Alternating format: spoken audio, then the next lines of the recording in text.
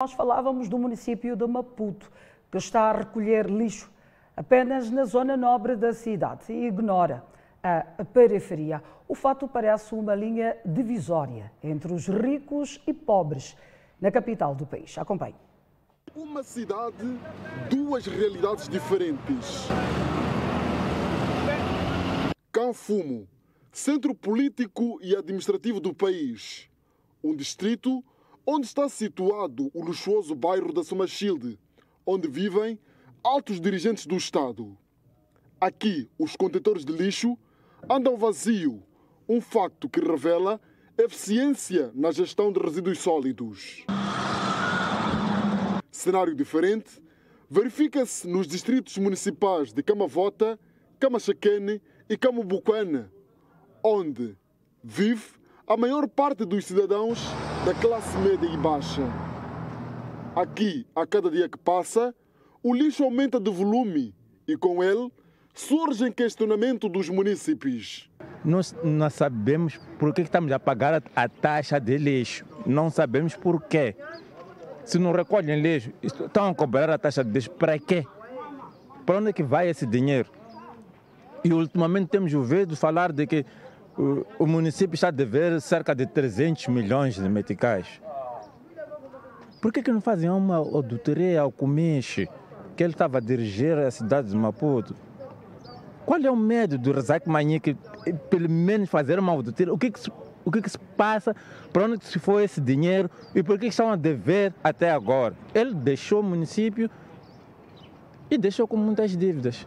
Uma dívida que está a contribuir para o aumento de insectos e roedores nos subúrbios da capital. Aqui na zona já estamos a enfrentar problemas de moscas, ratos, mau cheiro e, essa, e esse lixo aqui já está aqui já há duas semanas. Não estamos a aguentar com esse problema. Estamos a pedir ajuda para que seja removido esse lixo aqui, porque agora praticamente a estrada já está a ficar, eh, está a ficar fechada. Eu não sei como é que há de ser os próximos dias.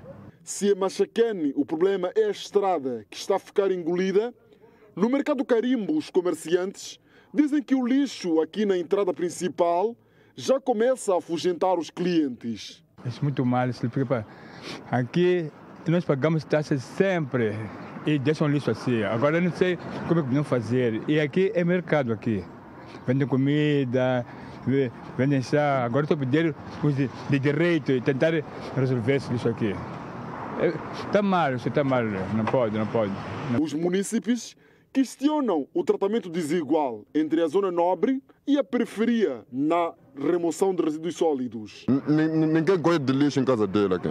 Ninguém gosta de lixo. Nós todos, nós todos, nós todos, na, na nossa casa, mantemos limpa. Mantemos limpa porque mantemos limpa porque tem crianças, não deve brigar com lixo. Mas o que é isso aqui? Lá é porque tem prédios. Tem prédios, sei lá o que, o que. Aqui não temos prédios, estamos ver nos, nos reis dos chãos. Já é por isso que des, des, deslixam nós. Entretanto, nem sempre a estratégia de proteger os altos órgãos do Estado dos focos de lixo sempre resulta. Quis o destino que o Ministério da Terra e Ambiente fosse parar no Distrito Municipal Camachaquene e, como muitos outros moradores desta zona, sente na pele o drama da falta de recolha de resíduos sólidos nos arredores da capital.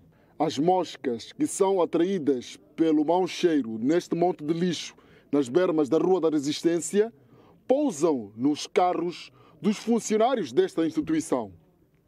A TV Sucesso contactou a Idilidade Maputo e esta confirmou a recolha de lixo apenas no Distrito Municipal Canfumo, tendo, na ocasião, prometido oportunamente explicar o porquê. No Distrito Municipal Canfumo, o único na cidade de Maputo, onde se verifica a remoção de resíduos sólidos, este serviço está a ser garantido pela empresa Ecolife. Esta instituição falou a nossa equipe de reportagem, mas não quis gravar a entrevista. Na ocasião, a mesma garantiu que, apesar de o município ter uma dívida com esta empresa, está neste momento a fazer a remoção de resíduos sólidos fruto da musculatura financeira que esta empresa tem. Entretanto, diz que está a ser insuportável arcar com os custos desta operação. E caso o município não salde a dívida nos próximos dias, poderá também paralisar as atividades. As imagens são de Antônio Baúl, Leonardo Duarte, TV Sucesso.